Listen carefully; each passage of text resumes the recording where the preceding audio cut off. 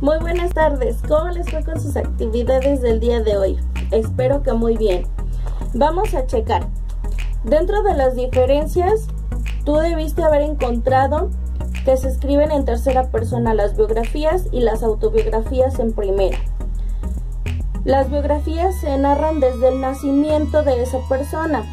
Las autobiografías no necesariamente se narran desde que nace, puede narrar a partir de algún acontecimiento importante o a partir de alguna fecha importante para esa persona.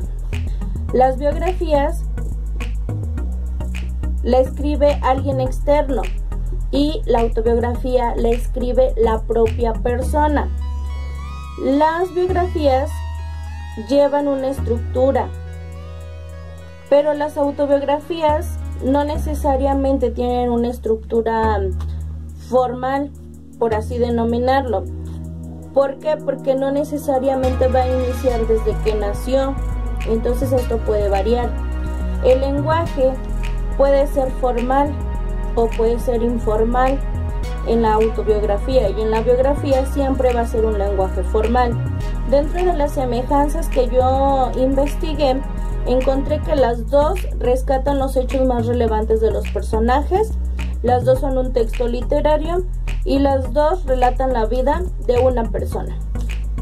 La otra actividad era realizar una opinión personal. Ahí yo destaco que, bueno, la biografía es escrita en tercera persona, la autobiografía en primera y que al final de cuentas las dos relatan hechos reales de esa persona.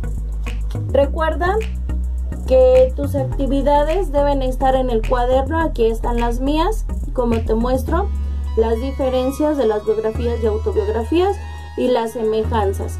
Espero que tú hayas tenido también muy buenos resultados y nos vemos la próxima sesión.